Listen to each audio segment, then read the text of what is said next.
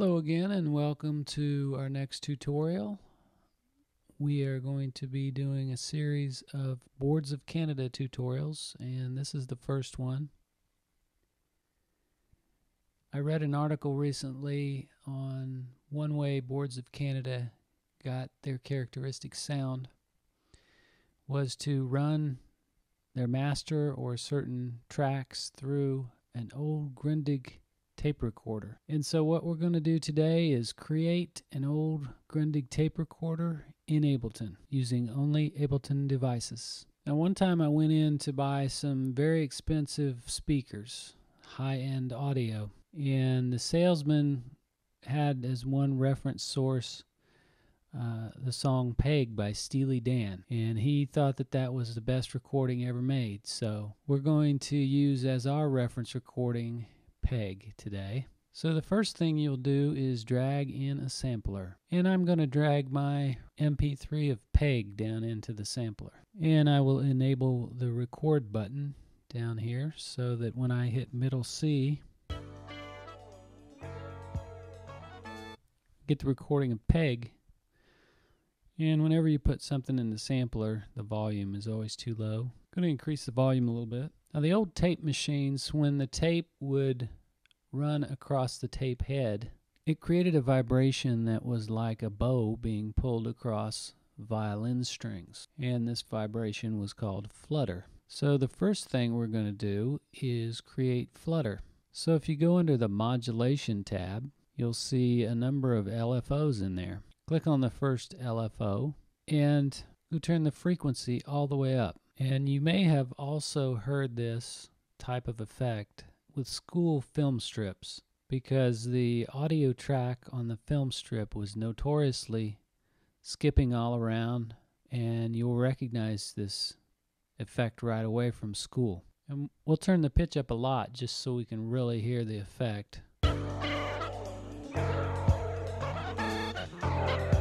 So that sounds just like a school film strip. Alright, so just sitting here playing with it, I determined that you'll put the pitch at 3% and the frequency at 30 hertz. Okay, another characteristic of magnetic tape is stretch. So our next LFO, we're going to duplicate stretch. We'll turn this one off so we don't have to hear that effect. So down here under A, you want to select pitch. Again, this LFO will be very similar to the flutter LFO and turn it up again so we can hear what the effect is.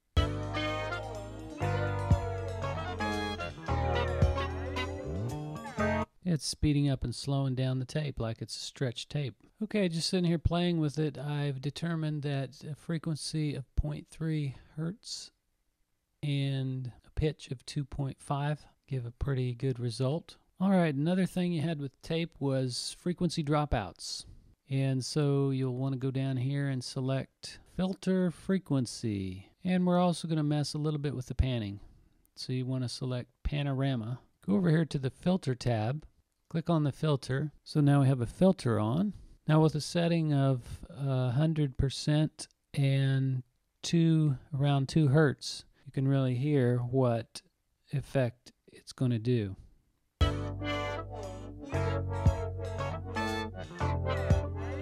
So it's putting a low pass filter on there. All right, I gave that a frequency of 2 hertz and made it about 75% wet because we don't want that to, uh, effect to be too severe.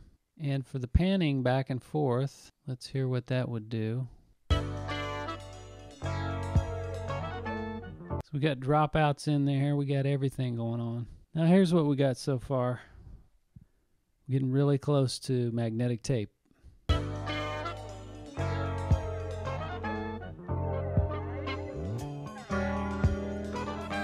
Now that's some really bad tape right there.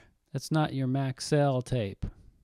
That's your Lloyd's brand tape. All right, another thing you had in old tape uh, recorders like the one used by Boards of Canada were tubes. So we're going to add some tubes to our tape recorder with, with a hot driven tape setting under Ableton's dynamic tube. And I'm just going to turn that down to 10% because it's kind of extreme effect. And I'm going to add compressor 1976 and turn the threshold down a ridiculous amount. And I'm going to add an EQ3 and I'm going to take the high gain down. All right, and finally we're going to add a little bit of hiss to the tape. Now, our tape recorder is a little more advanced because it has Dolby. And so what that would do is uh, it would allow hiss only when something was playing. It would have to open up and let the music come through. The rest of the time it would kind of close down the, the uh, high end. So uh, what we want is we want to hear hiss pretty much when only when there's some input going in. The rest of the time, our fake Dolby is going to cut that cut that out, so it'll be just like uh, a reel-to-reel that had Dolby on it. So you want to turn the oscillator on and select noise. All right, now I've turned down the volume on my sample over here. You see volume. So I go here to my oscillator and let's hear what, what I have.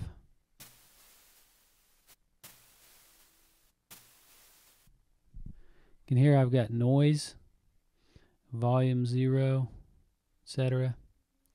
So let's turn the sample back up to 12 dB. See what we got.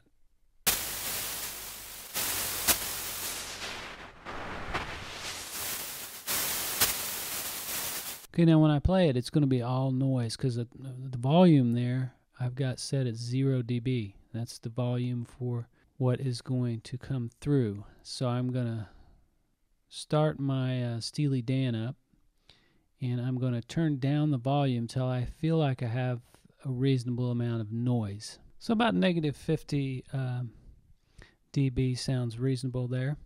Okay, we've created our Boards of Canada Grundig reel-to-reel that they said they used. And we could take our master or any track and drop it in this sampler here. And we would get that type of effect. So here's what Steely Dan sounds like in there.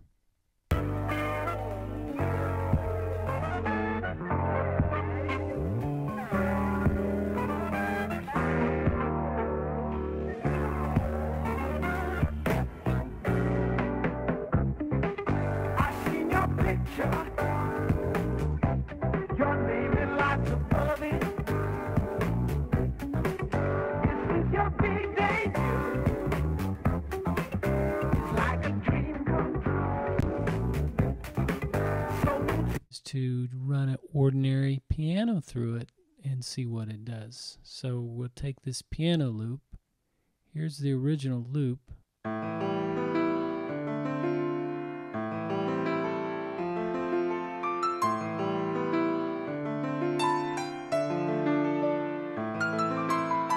And we can take that and turn that into Boards of Canada just by grabbing that sample and dropping that into our Grundig tape machine.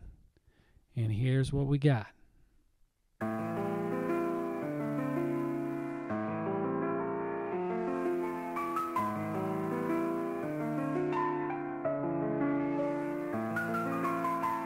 You see how it beautified that track? Now we're going to want to save this whole thing. So what you will do is shift click these four devices. You'll right click group all right, then on the far left here where it says instrument rack, you're going to want to click this floppy disk symbol. And you'll see it up here under the instrument rack. And you can rename it. I'm going to call mine Grundig Tape Recorder.